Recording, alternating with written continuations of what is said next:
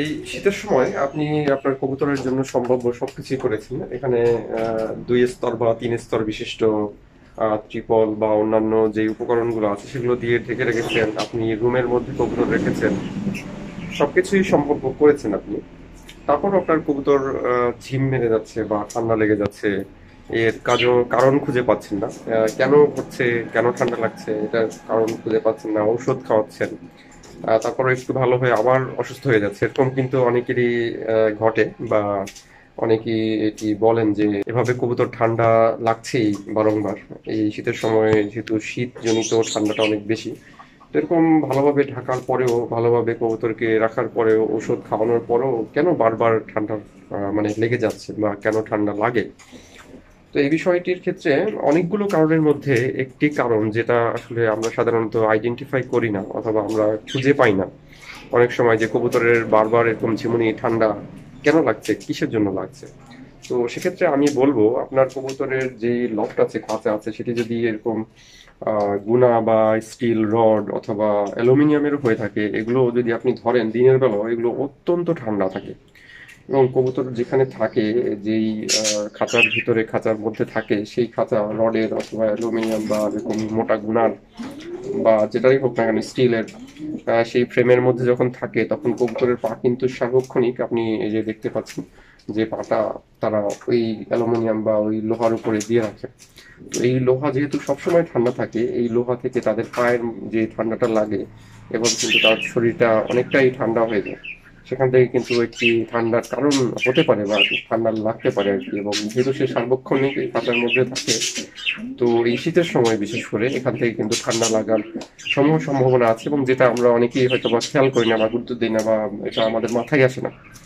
তো সেক্ষেত্রে আপনার যেটা করণীয়, আপনি আমার যে লকগুলো দেখেন, এই লকতে ব্রিডিং এর জন্য যে আমরা কার্ডগুলো দেই দেখতে পাচ্ছেন, এই ব্রিডিং এর এই কার্ডগুলো যদি এই ঠান্ডার সময় আমরা একটু বড় সাইজের কার্ড দিতে পারি, একটু বড় সাইজ যেখানে দুটি কবুতর এসে থাকতে পারে। তো সেরকম যদি আমরা কার্ড দিতে পারি, তাহলে কিন্তু আমাদের এই কবুতরগুলোর যে অনাকাঙ্ক্ষিত যে ঠান্ডা লাগা বা বারংবার যে ঠান্ডা লাগা, সেটার হাতে কিন্তু মুক্তি পেতে পারে। তো আপনারা অনেকেই এই বিষয়টি হয়তো বা মানে অগোচরই থেকে যায়, আপনারা মাথায় থাকে না যে কেন ঠান্ডা লাগছে বারংবার।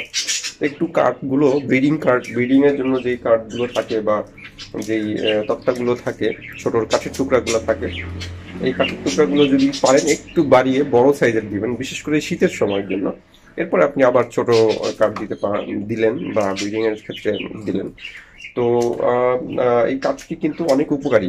শীতের সময় কবুতরের কে ঠান্ডা হাত থেকে বাঁচানোর জন্য বা ঠান্ডা লাগা থেকে বাঁচানোর জন্য, আপনার কবুতর কিন্তু ঠান্ডা, যে কোনো কারণে যদি ঠান্ডা লেগে যায়, সেই ঠান্ডা থেকে কবুতর ঝিম, ঝিমুনি চলে আসবে তার যে খাবার দাবার সে অনীহা চলে আসবে, জ্বর চলে আসবে, একটা সময় অসুস্থ হয়ে কবুতর কিন্তু মারা যাবে।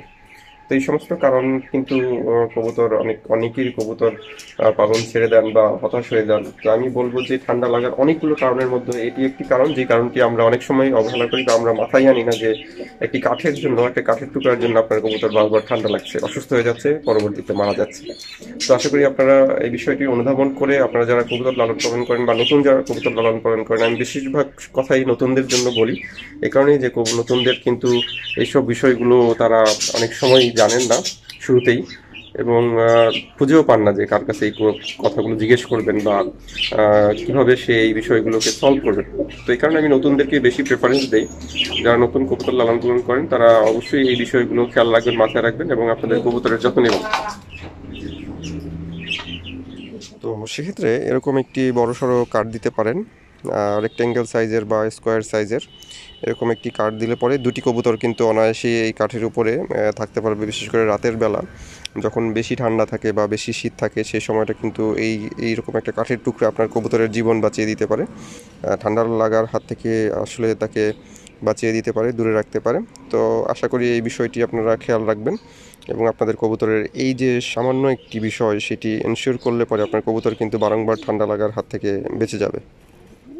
সবাইকে অসংখ্য ধন্যবাদ এতক্ষণ সাথে থাকার জন্য। দেখা হবে পরবর্তী কোনো ভিডিওতে। সে পর্যন্ত সবাই ভালো থাকবেন। সবার প্রতি শুভকামনা।